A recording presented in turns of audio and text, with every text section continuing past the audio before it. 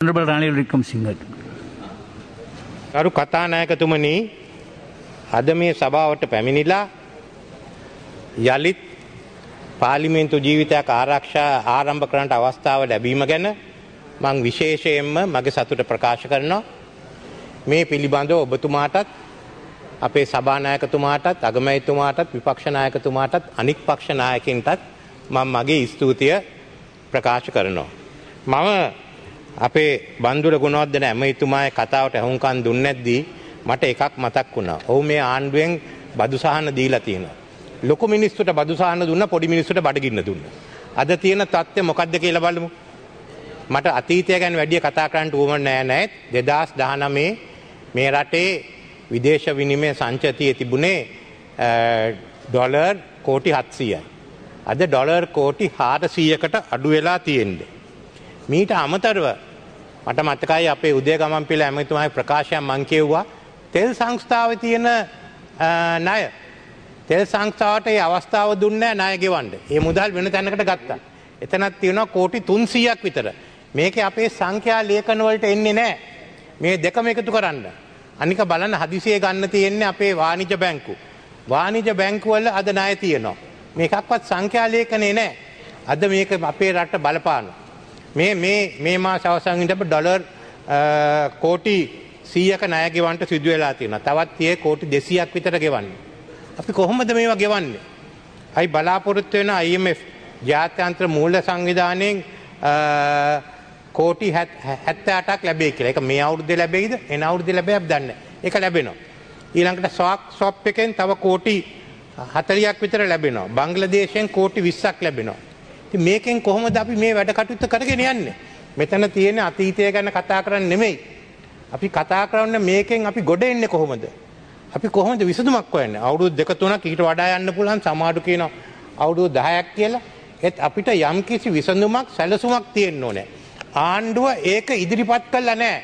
ඇමතුමා කිව්වා මේ ගැන සාකච්ඡා කරන පාර්ලිමේන්තුවේ වාරයක් ඇති කර මම ඔබතුමා එක 100%ක් එකඟයි. ඒත් මොකද්ද ඔබතුමාලා විසඳුම කොයි මාර්ගෙද යන්න කියලා මට අනික් අය වෙනුවෙන් කතා කරන්න බෑ මම නම් කියන්නේ අපිට තියෙන එකම මාර්ගය ජාත්‍යන්තර මූල්‍ය අරමුදල සමග ආපහු ගන්න දෙනු කරා. අපි 2015 ඉඳන් 2019 ඔබතුමාලා එකඟ නැත්තම් ඒ විකල්පය මොකද්ද කියලා අපිට කියන්න. විකල්පයක් නැතුව සංඛ්‍යා ලේඛන කතා කරන එකේ අපිට කිසිම ප්‍රයෝජනයක් නැහැ. අනික මෙතන අද තියෙනවා පොහොර ප්‍රශ්නේ තියෙනවා. අපිට තියෙනවා තෙල් ප්‍රශ්නේ අධ්‍යාපන ප්‍රශ්න ගණනාවක් මේ රටේ තියෙනවා. මේ ඔක්කොම එකතු වෙලා පිපුණොත් මොකක්ද රට වෙන්නේ? ආණ්ඩුවක් නැති වෙනා නෙවෙයි පාර්ලිමේන්තුව නැති වෙයි. අන්න ඒක මතක තියාගෙන අපිට අවස්ථාව දෙන්න මේ ගැන සාකච්ඡා කරන්න.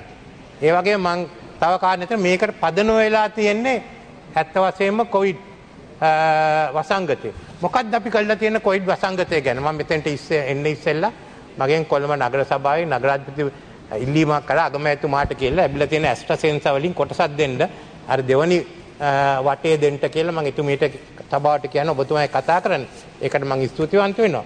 ඒත් විශේෂයෙන්ම අද මොකද සිදු වෙලා තියෙන අපිට එකක් කියන්න පුළුවන් මේ කාර්ය සාධක බලකාය සම්පූර්ණයෙන්ම අසාර්ථකයි. පටන් ගත්තේ දවසේ අද වෙනකම් මොකද්ද කියලා සෞඛ්‍ය ඇමතිතුමාගේ ඇමතිතුමියගේ කතාවට ඇහුම්කන් දුන්නාන් තේරෙනවා. මොකද්ද අපි කරන්නේ? මේ මේ කාර්ය සාධක බලකායක් ඉදිරියට යන්න බෑ. අසාර්ථක වෙලා තියෙන්නේ. හැම එක වැඩි වෙලා තියෙන්නේ. අපේ ව්‍යවස්ථාව අනුව මේ වගකීම තියෙන්න ඕන කැබිනට් මණ්ඩලයටයි කැබිනට් මණ්ඩලයේ වග කියන පාර්ලිමේන්තුවට. ඇයි කැබිනට් මණ්ඩලයට මේ බලතල දෙන්නේ නැත්තේ? බලතල බලතල තියෙන්නේ. ව්‍යවස්ථාවේ තුන්වෙනි වගන්තිය, හතරවෙනි වගන්තිය, 43 වෙනි වගන්තියේ මේ ආණ්ඩුව පාලනය කරන්න පුළුවන් මේ කැබිනට් මණ්ඩලයට පමණයි. අගමැතිතුමත් මෙතන ඉන්නවා. ඇමතිවරුත් ඉන්නවා. ඔබතුමා බාර ගන්න. ඔබතුමා වැරදි වුණොත් අපිට පුළුවන් මෙතෙන්ට වෙලා කෑ ගහන්න. අඩු ගානේ පෝස්ටර් ඉල්සන්න. ඇයි මේක කැබිනට් මණ්ඩලයට බාර නොදෙන්නේ?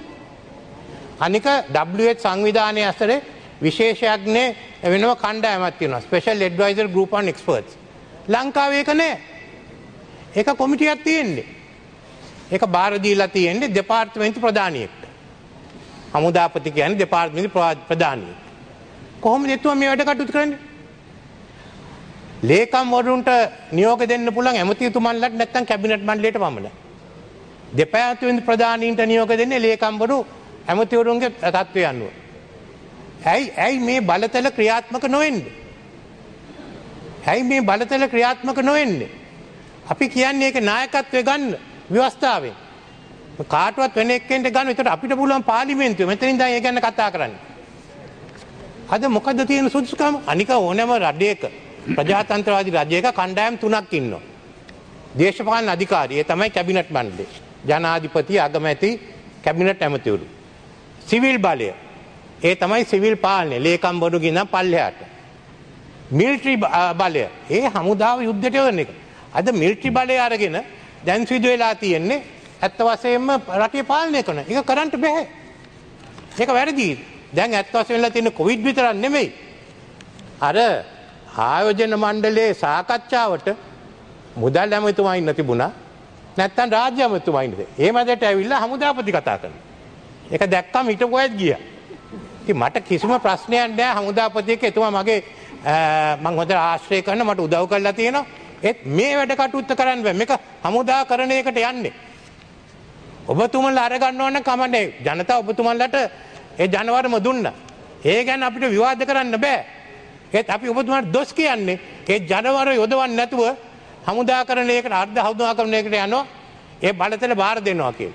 තින් මම මෙතන කියන්නේ අගමැයිතුමනි අපි කැමතිී වෙලාවක මම ඉල්ලනවා. අපිට විවාදයක් දෙන්න මේ ව්‍යවස්ථානු කූල ප්‍රශ්නය පාලිමෙන්තේ ප්‍රජාතන්ත්‍ර වාදය ගැන සාකච්ඡා කරන්නට අවස්ථාව දෙන්න මොකද අපි අපේ දේශපාල විරුද්ධවාදිකන් තිබුණට ව්‍යවස්ථානුව කැබිනට් එක තමයි තීරණ ගන්න ඕන. ඒව වියචනය කරන්න අපිට පුළුවන්. විශ්වාස බංග යෝජන ගේට පුල මෙතැටල වාඩි වෙන්න පුළුව ඒත් ඒක කරන්න නැත්තම් මේ පාලිමෙන්තුව ක්‍රියාත්මක වෙන්න. ඒ නිසා අපි ඉල්ලන වෙලාවක් මම ඉල්ලන මහිතා අනික් අපේ මිත්‍රයන් පාලිමිත එකඟ වෙයි කියලා. මේ කැබිනට් මණ්ඩේ බලතල අතහැරීමත් ක්‍රියානොකරීමත් ව්‍යවස්ථාව උල්ලංඝනය කිරීමත් ජනම ජනවරම නැති කිරීම ගැනත් අපිට විවාදයක් දෙන්න කියලා මංගිල්ල මයිටවට දීර්ග වසයෙන් කතා කරන්න. ඒ ඇලි දෙපැත්ති සියලු දෙනාට මිස්තුති කරමි. අර කරුණුවෙක් අපි සාකච්ඡා කරනු කියලා මගේ මිත්‍ර බන්ධල ගුණවදන මැතුමට ප්‍රකාශ කරමින් මගේ වචන සවල්පයමන් අවසන්ට.